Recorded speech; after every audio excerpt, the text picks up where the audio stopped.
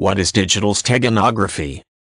The word digital describes a sound, image, or data file that can be stored electronically, in contrast to such a file in another medium, such as a photograph printed on photo paper. The term steganography comes from the Greek words meaning to cover tightly in writing it refers to the practice or art of concealing a message in any medium. Digital steganography refers to concealing a message in a digital format.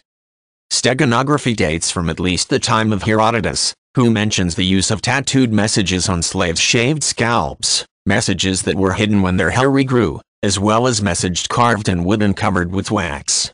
Steganography, when it was first used in English in the 16th century, referred to cryptography, writing in codes and ciphers. Currently, the word refers primarily to messages that are unseen. Although such messages may also be encrypted, this is not necessary, and that goes for digital steganography, where the main purpose is often to create a message that defies detection. Digital steganography makes use of the fact that in a number of file formats, data is reduplicated or some data is of little importance, and the hidden message does not cause noticeable changes to the file.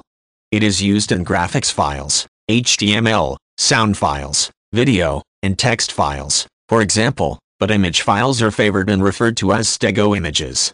Digital steganography is said to have played a role in the planning by al-Qaeda leading up to the September 11, 2001 attacks on the United States. Digital steganography is also used by people who are being censored, by governments and government agencies, by criminals, and for other reasons.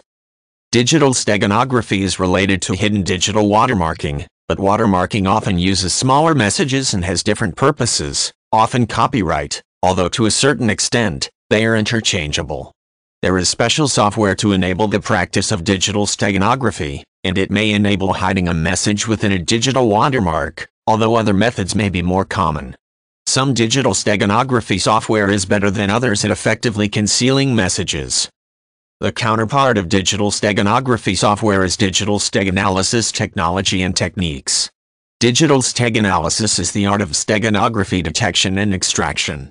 It is used by governments, intelligence agencies, law enforcement, and the military.